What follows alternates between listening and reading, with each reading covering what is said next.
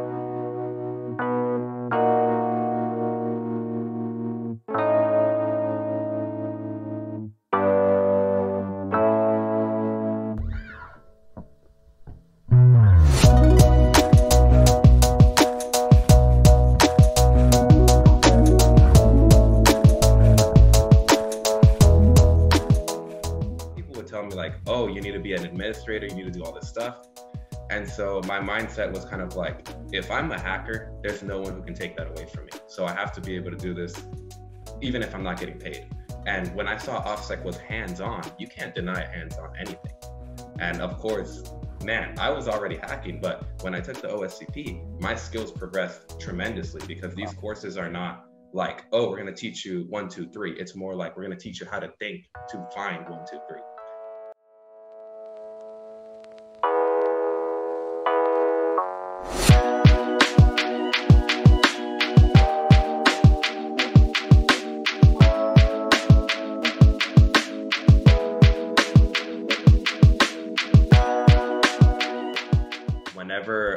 Ask questions, I remember that I would get roasted sometimes.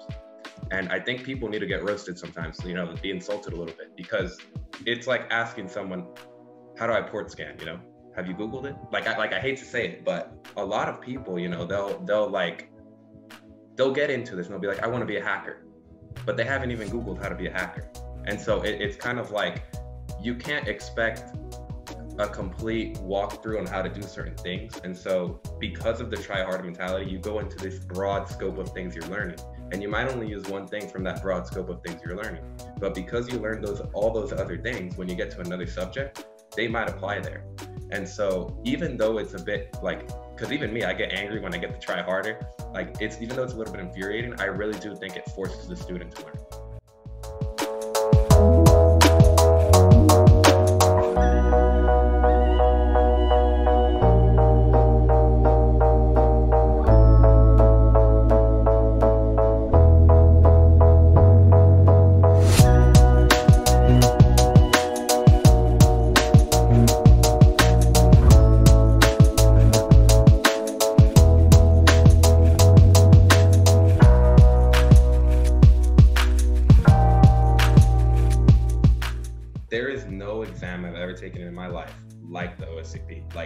You literally have to you even learn on some of these exams. Like the osce when i took it i literally learned new things during the exam.